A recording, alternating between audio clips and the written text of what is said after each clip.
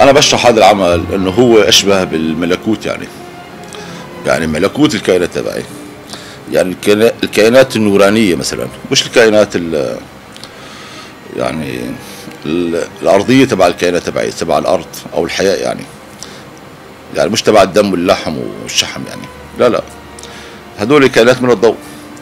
أنا بشوف العقفه يعني حركة الرأس تبعه ملولبة مع الرقبة هي الطويلة. هذا كثير وديع ولطيف. وأنا تارك له هيك نوع من الدعابه أو تاج فيه أحمر عند الشبه تبعه يعني مع العيون الناعسة جحوظ العينين الهدوء هذا الاستكانة. استكانة بجينات يابانية يعني. جينات هادئة. وهذا الجسم البيبي مثلا. حقيقة إنه هذا العمل يعني رسم منه شيء أربع مرات أو خمس مرات. هذا الحكي من أكثر من 20 عام.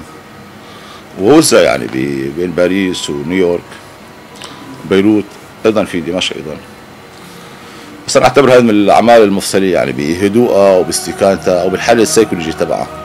يعني هون ما في إظهار للحالة الانفعالية ابدا. في استكانة يعني. في حالة استفائية رحمانية ملكوتية نورانية. يعني نور على نور ذهب على ذهب ألماس على ألماس. هذا الملكوت.